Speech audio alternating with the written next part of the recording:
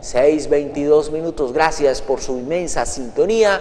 Llega el mensaje de vida que nos ofrece el Padre Miguel Barón. Padre Miguel, cuánto gusto saludarlo esta lluviosa mañana de hoy, miércoles. Padre, ¿cuál es el mensaje? Buenos días.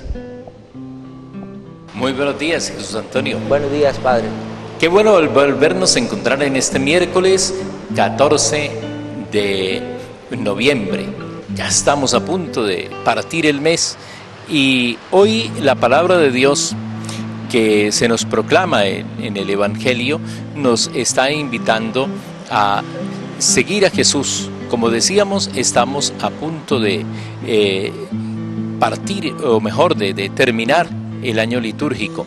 Entonces el Evangelio nos dice que hemos de estar siempre agradecidos con Dios. Jesús va hacia Jerusalén y de camino se encuentra a diez leprosos. Estos diez leprosos le piden que los cure y Jesús les ordena lo que prescribe la ley, que vayan a presentarse ante el sacerdote para que él certifique que están sanos. yendo de camino se curan, pero solamente un samaritano regresa donde Jesús para decirle gracias.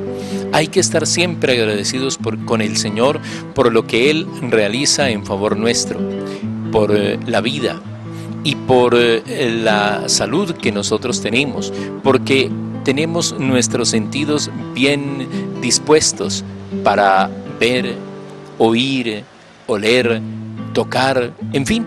Y entonces agradecerle al Señor que nos ha hecho perfectos, no hay absolutamente una imperfección en nuestro ser y por eso hemos de agradecerle al Señor.